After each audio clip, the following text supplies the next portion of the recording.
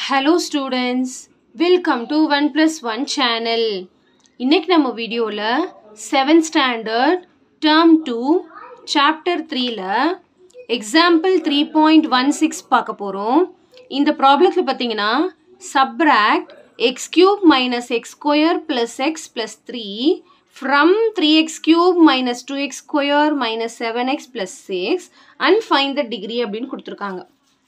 So first இது ரெண்டுத்தையும் subtract பண்ணணும். ஆனால் ஒரு கான்செப்ட் சொல்லிட்டாங்க. சப்ராக்ட் திஸ் ஃப்ரம் திஸ்ன்னு சொல்லியிருக்காங்க. இதுலேருந்து தான் இதை சப்ராக்ட் பண்ணணுமா. அப்போ இதை தான் ஃபஸ்ட் எழுதணும். இதை தான் அடுத்து எழுதணும்.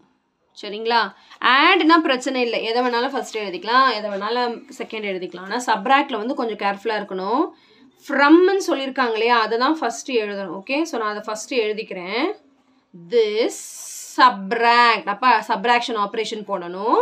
இன்னொரு expression x cube minus x square plus x plus three so இதுலேருந்து இதை வந்து சப்ராக்ட் பண்ணணும் ஓகே அப்புறமா டிகிரி கண்டுபிடிக்கணும். சப்ராக்ட்னு சொல்லிட்டாங்க. ஸோ ஃபஸ்ட்டு திங் போன நம்ம சம் போட்டோம்லையே அதே மாதிரி தான் ஒரே ஒரு ஸ்டெப் மட்டும் இதில் பண்ண வேண்டியது வரும். ஃபஸ்ட்டு ப்ராக்கெட்டை ரிமூவ் பண்ணணும்னு சொன்னேன் இல்லையா? ப்ராக்கெட்டை ரிமூவ் பண்ணும்போது ப்ராக்கெட்க்கு முன்னாடி என்ன இருக்குன்னு ஃபஸ்ட்டு பார்க்கணும். என்ன ஆப்ரேஷன் இருக்குன்னு பார்க்கணும். அடிஷன் ஆப்ரேஷனாக இருந்தால் ஒன்றும் பிரச்சனை இல்லை. அந்த ப்ராக்கெட்டை ரிமூவ் பண்ணி அப்படியே அந்த நம்பர்ஸை எழுதிக்கலாம். ஆனால் சப்ராக்ஷன் ஆப்ரேஷனாக இருந்தால் ஒன்று பண்ணணும்னு சொன்னோம் இல்லையா போன சம்லேயே அதே தான் இப்போ ஃபஸ்ட்டு இந்த ப்ராக்கெட் ரிமூவ் பண்ணுறதுக்கு இந்த ப்ராக்கெட்க்கு முன்னாடி அடிஷன் இருக்குதுன்னு அர்த்தம். ஏன்னா எதுவுமே இல்லைன்னா அடிஷன் அப்போ அந்த அந்த எக்ஸ்ப்ரெஷனை அப்படியே எழுதிக்கோங்க. எழுதிக்கிட்டேனா? இப்போ இந்த ப்ராக்கெட்டை ரிமூவ் பண்ணணும்னா இதுக்கு முன்னாடி சப்ராக்ஷன் இருக்குது சப்ராக்ஷன் இருந்துச்சுன்னா என்ன பண்ணணும்னா ஏன் அந்த மைனஸை ஒரு ஒரு டேர்ம் கூடயும் எடுத்துகிட்டு மல்டிப்ளை பண்ணிட்டு போகணும். ஏன் மல்டிப்ளை பண்ணணும்னு கேட்டிங்கன்னா ஏன் அடிஷன் இருக்கும் போது எதுவுமே பண்ணலையே அதை ப்ராக்கெட் ரிமூவ் பண்ணி அப்படியே தானே எழுதணும் ஏன் சப்ராக்ஷனுக்கு மட்டும் அப்படி பண்ணணும் அப்படின்னு கேட்டிங்கன்னா அடிஷனோட எந்த ஆப்ரேஷனை மல்டிப்ளை பண்ணாலும் அதே தான் வரும். சைன் மாறாது இல்லையா இப்போ ப்ளஸ் இன்ட்டு ப்ளஸ் ப்ளஸ் தான். ப்ளஸ் இன்ட்டு மைனஸ் மைனஸ் இல்லைங்களா? அடிஷன் இருக்கும் போது அந்த ஆப்ரேஷன் வந்து அப்படியே தான் எழுதுறோம். ஆனால் மைனஸ் கூட வந்து மல்டிப்ளை பண்ணும்போது அந்த ஆப்ரேஷனே மாறுது. அதனால சரிங்களா? இப்போது இப்போ மைனஸ் இருக்குன்னா நல்லா ஞாபகம் வச்சுக்கோங்க. உள்ளே மல்டிப்ளை பண்ணணும். ஒரு ஒரு டேர்ம் ஒன்று ரெண்டு மூணு நாலு. நாலு டேர்ம் இருக்குது நாலு டேர்ம் கூட மல்டிப்ளை பண்ணணும். உங்களுக்கு இது புரியல அப்படின்னா என்ன பண்ணலான்னா ஒன்றும் இல்லை. மல் மைனஸ் கூட மல்டிப்ளை பண்ணுறீங்க அப்படின்னா என்ன அர்த்தம்னா அந்த டேர்மோட ஆப்போசிட் சைன் எழுதணும். அதாவது மைனஸாக இருந்தால் ப்ளஸ்ஸு ப்ளஸ்ஸாக இருந்தால் மைனஸ்ஸு அவ்வளோதான் இதுதான் அதோட கான்செப்ட் சரிங்களா? ஆப்போசிட் சைன் மைனஸ் இங்கே இங்கே plus minus into plus minus minus into minus plus minus into plus minus minus into plus minus அதாவது ஆப்போசிட் சைன் எழுதணும் அவ்வளோதான் அதுக்குன்னு இதுக்குலாம் ஆப்போசிட் சைன் எழுதிடக்கூடாது. இதுக்கு முன்னாடி அடி மைனஸாக இருக்குது இதுக்கு முன்னாடி தானே சப்ராக்ஷன் இருக்குது அப்போ இந்த எக்ஸ்பிரஷனுக்கு மட்டும்தான் சைன் மாறும். சரிங்களா? இப்போ எப்பயும் போல தான் போன சம் போட்டோம் இல்லையா? லைக் டம் எல்லாம் அரேஞ்ச் பண்ணுங்க. ஆட் சப்ராக்ட் பண்ணுங்க. அதே மாதிரி தான் சரிங்களா?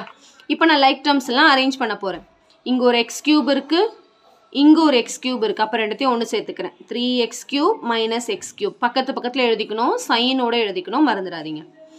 அடுத்து minus two x square plus x square minus two x square plus x square அது முடிஞ்சிருச்சு.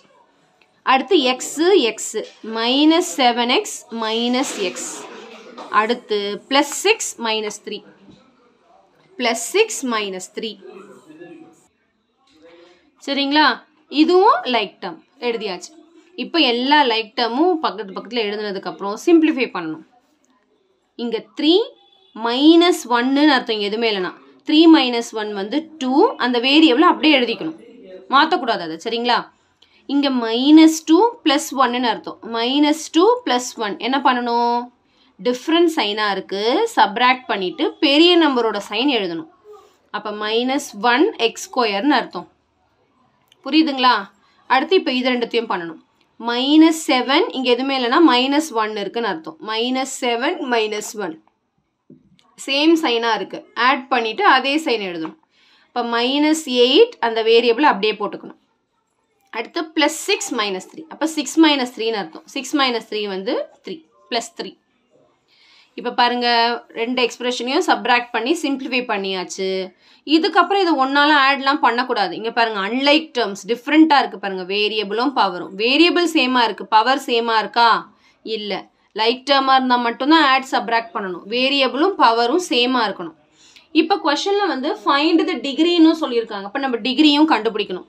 ஸோ எத்தனை டேர்ம் இருக்குது பாருங்கள் one two three four first தனித்தனியாக டிகிரி கண்டுபிடிக்கணும். அதுக்கப்புறம் ஹையஸ்ட் பவர் தான் டிகிரி இல்லை உங்களுக்கு இங்கே பார்த்தாலே தெரியுதுல்ல இந்த எக்ஸ் பவரில் எது பெரிய பவராக இருக்குது த்ரீ அப்போ டிகிரி இஸ் த்ரீ அப்படின்னு டேரெக்டாக கூட எழுதிடலாம். ஒன்றும் தப்பு கிடையாது. சரிங்களா?